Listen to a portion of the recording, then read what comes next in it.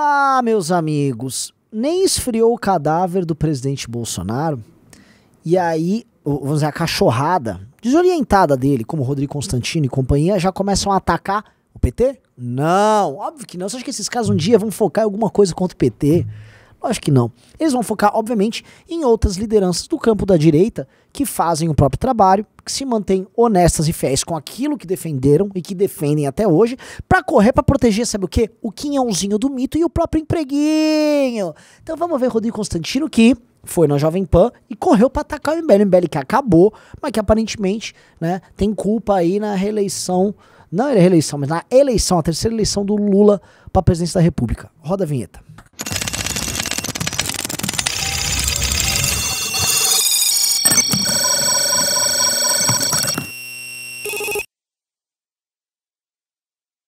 Galera, antes de continuar, lembrando, se inscrevam na Academia MBL para você não se tornar um Constantino, para você entender de política, para se tornar uma liderança política, para aprender a falar em público, dialogar, organizar time, debater, conhecer história política, conhecer história do Brasil. Academia MBL. Nós estamos fazendo o seguinte: você vai fazer a pré-matrícula, você garante a matrícula pro ano que vem, pagando o valor deste ano e mais, você só paga uma fração. É como se você pagasse a reserva da tua vaga. Faz a reserva da tua vaga, porque você que está interessado não pode perder ela. Então, te aguardo academia.mbl.org.br.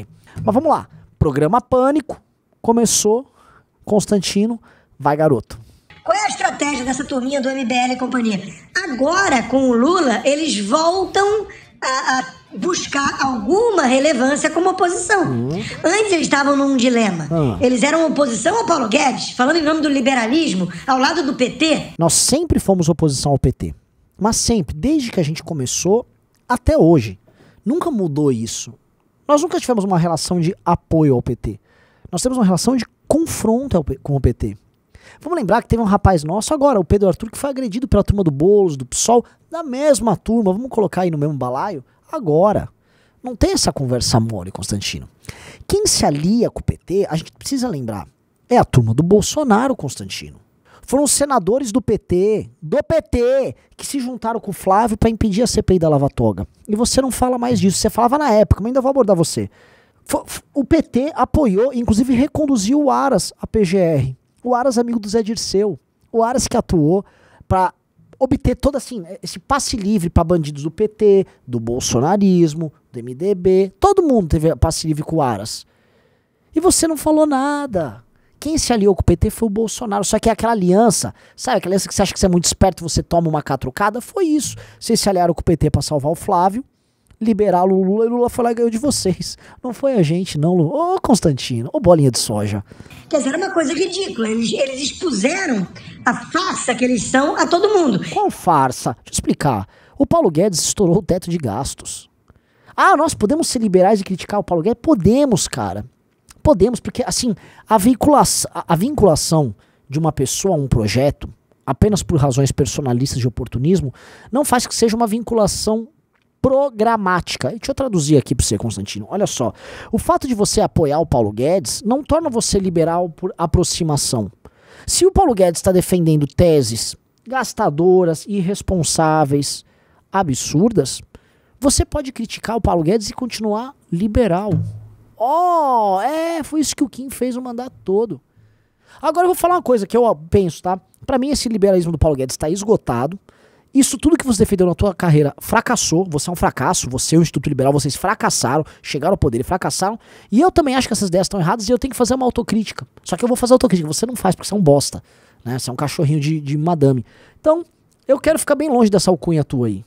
E agora eles vão tentar uma espécie de reaproximação. É, tamo junto, é, somos oposição a essa esquerda. Não, burro. Eu, eu não quero aproximação com você, nem com a tua turma. Não, não, não. A reaproximação com essa gente de vocês, nenhuma. Porque eu preciso lembrar quem é você, Constantino. Você já era próximo da gente e muitos de vocês que estão aí na PAN eram amigos nossos. Tem um aí que era do MBL e xingava o PT o dia inteiro, xingava o Bolsonaro o dia inteiro. Aí ele vai pra PAN, muda a linha. Para, eu não quero, não quero reaproximação com ninguém. Você mudou, Constantino, isso precisa ser lembrado aqui. Você era bastante antibolsonarista, muito corajoso. Aí teve um jantar na casa de uns empresários, começo do ano de 2020. Nesse jantar foi oferecido apoio, grana, para uma série de influenciadores para ajudarem o presidente Bolsonaro nas reformas, porque ia ter reformas, né? Esses empresários estavam interessados em lutar contra o comunismo e fazer reformas, né? Algumas pessoas toparam. Muitos desses empresários que atuam na área do varejo, varejo de roupa, moda, bugiganga vinda da China. Muitos desses caras vão ter que se adaptar agora ao novo governo. E aí vai mudar um pouco esse esquema. A gente tem que ver como vai ser a opinião dos caras que participaram daquele jantar. Se esses caras que participaram do jantar também vão ter que dar uma mudada de opinião. Ou mesmo emissoras de rádio que dependem de dinheiro que vem do governo federal. Como é que elas vão se comportar com essa nova linha, né? Hum, será que vai mudar? Eu fico meio confuso, Constantino, porque teve gente, né, que mudou muito a posição conforme a galera bancava. A minha diferença, a diferença do MBL para você, mas eu incluo aqui a diferença do Nando, do Gentili, do André Guedes, de pessoas que você odeia, né? É que assim, essas pessoas elas foram imutáveis, elas ficaram igual uma rocha. Elas sempre foram antipetistas, sempre defenderam um conjunto de valores e elas não mudaram os valores dela mediante, vamos dizer assim, certos apoios, né? Ou certa idolatria a um presidente da república. Elas não fizeram isso. E isso te choca. Quer você falar que elas são traidoras? Não, cara. Não, não são traidoras. Elas permaneceram iguais. Quem mudou foram os outros. Ê, Lula, anti-PT! E a gente vai virar e falar assim: hum, ah, você fede, sai pra lá, né? Ah, você fede, né? Tipo, o Bolsonaro é muito cheiroso. Eu gosto de ficar com o meu Bolsonaro cheirosão. Você demonizou o Bolsonaro? Nós pedimos voto nulo. Sim. Nós pedimos. Ah, nós demônio. Nós não demonizamos Bolsonaro. Bolsonaro que agiu como um demônio. Veja só essa imagem na tela, essas pessoas pulando com o caixão. Isso é coisa de demônio. Nós não demonizamos ninguém. O Bolsonaro já fez o trabalho de se demonizar por si só. O Bolsonaro foi sórdido. O Bolsonaro tinha uma eleição fácil. Presta atenção. Mesmo com todos os erros dele, com toda a roubalheira, com economia em frangalhos. O Bolsonaro perdeu por 2 milhões e pouco de votos. Constantino, isso é muito pouco. Ele é o primeiro presidente a não conseguir se reeleger desde que a reeleição foi instituída no Brasil. Até a Dilma, com Operação Lava Jato, manifestação em 2013, até a Dilma se reelegeu. O Bolsonaro conseguiu essa proeza. Quem cometeu os erros foi ele. E aliás, nós não somos irrelevantes. Se nós somos irrelevantes, por que nós somos responsáveis pela não eleição do Bolsonaro? Você tem que se decidir, ô, Constantino. E, passou pano pra STF, pra TSE? Oi? Não, não passamos pano pra STF, TSE nem pro Lula. Nós fizemos ativismo judicial, nós tiramos da, da, o MST e o MTST da campanha do Boulos da turma deles agora, é nessa eleição. Nós enfrentamos esses caras. Quem botou, quem botou o Lula de volta no jogo, quem votou lá para tirar a ineligibilidade, foi o Cássio Nunes nomeado pelo Bolsonaro, Constantino. Foram vocês, Constantino. Então não vem pra cima da gente com essa historinha, né? Qual historinha? Ninguém quer.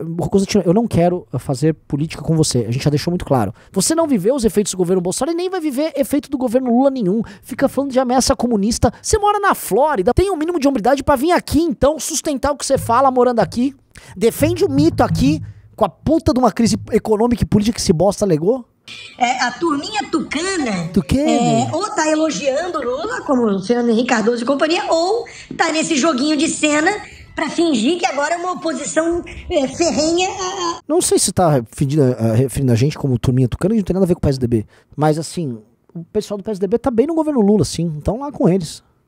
Lembrando que você sempre foi defensor do PSDB durante toda a sua carreira tiveram a oportunidade de, de mostrar que são de fato oposição e não, não são. Meu amigo, nós marchamos a pé até Brasília, nós conduzimos o impeachment da Dilma Rousseff. E você concordava com isso, então você participou do nosso filme sobre impeachment e você falou isso.